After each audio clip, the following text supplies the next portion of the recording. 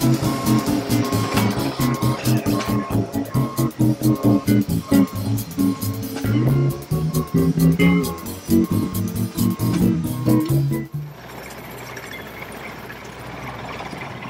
I'm Brother Leo Mary, and in the Catechism Catholic Church, paragraph 150 to 152, the Church is talking about to believe in God alone. Now, I can believe in human beings, I can believe in other things, but to believe in there is one God. And so the Church says Christian faith differs from our faith in any human person. It is right and just to entrust oneself wholly to God and to believe absolutely what he says.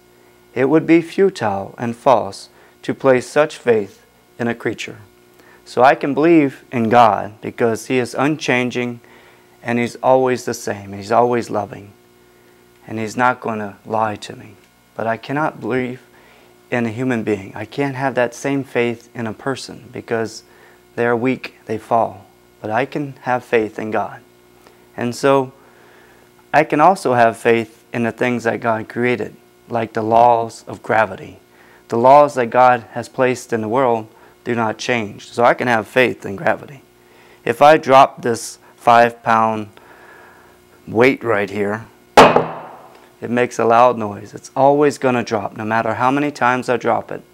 After maybe 500 times, I say, oh, well, this time it's not going to drop, so I'm going to drop it on my toe. Well, I'll be pretty stupid because it is going to drop and I know it's going to drop because of my faith in the laws of science. And that faith I can have because God is the creator of the whole world, and He is the one that put those laws into existence. He's the one that created those laws, and God does not change.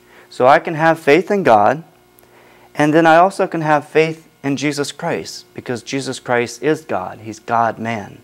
And so I can have faith in Jesus Christ I also can have faith in the Holy Spirit because the Holy Spirit is God. As the church says, the church never ceases to proclaim her faith in one only God, Father, Son, and Holy Spirit. So there's three persons, but only one God. And so I can have faith in the Father, I can have faith in the Son, and I can have faith in the Holy Spirit because they are God. One God, three persons.